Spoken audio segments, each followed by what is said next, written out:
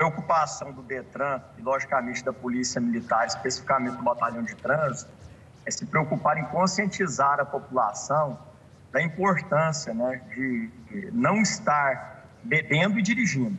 Então, a gente tem essa preocupação e, em primeiro momento, nós estamos fazendo alguns pontos estratégicos né, com relação à balada responsável, visando a conscientização desse condutor da importância de se prevenir né, contra todos esses percalços que podem vir a ocorrer caso nós tenhamos aí, os acidentes de trânsito de uma forma, muitas das vezes, né, desordenada.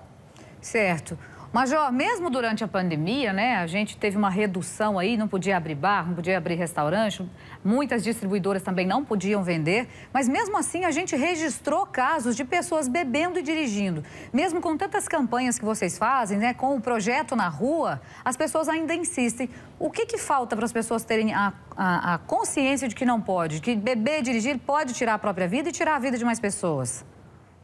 Então, a gente entende né, que a conscientização é um pressuposto que está vigente, inclusive, no Código de Trânsito Brasileiro e que nós temos que massificar isso todos os dias né, para que a sociedade compreenda a importância desse cenário. Agora, logicamente, que vem como consequência né, da conscientização a fiscalização.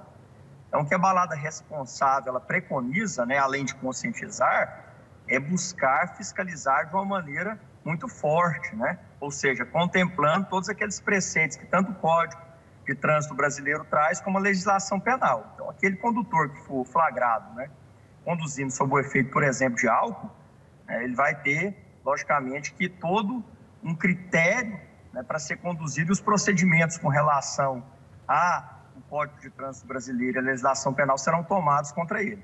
Certo. E quando é que o Balada volta para as ruas especificamente, Major? Então, ela começou na data de ontem, né, num campo muito educativo, como nós falamos, né, e ela vai persistir mesclando isso, ou seja, a educação do condutor, porém, ela vai estar também é, diariamente, né, ela acontece todos os dias, né, logicamente que em pontos estratégicos, em horários estratégicos, né, visando é, tanto coibir e, logicamente, fiscalizar. Então, ela começou a partir da data de ontem. Certo. Major, fala pra gente, em casos mais extremos, por exemplo, às vezes a pessoa ali é, é falado de forma mais para educar, para instruir mesmo aquele motorista, né? Mas em casos mais extremos tem uma multa mais alta e podem acontecer outras coisas. O que pode acontecer com esse motorista, por exemplo? Então, a, na verdade, quando ele é flagrado, né, ou seja, dirigindo e fez o uso né, do álcool, ele vai sofrer algumas sanções que o Código de Trânsito brasileiro traz, que é uma infração de natureza gravíssima, né? E a multa dela é, é, é multiplicada por 10 vezes.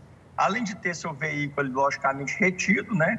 E conduzido para o pátio né, do Estado para que tome as providências legais, além da suspensão do direito de dirigir. Então, se abre um procedimento né, contra essa pessoa, que ele pode acarretar até 12 meses de suspensão do direito de dirigir. Então, as penas impostas né, a essa pessoa, além da, do campo administrativo, tem a esfera criminal, ou seja, ele pode também responder pelo crime né, de estar dirigindo embriagado.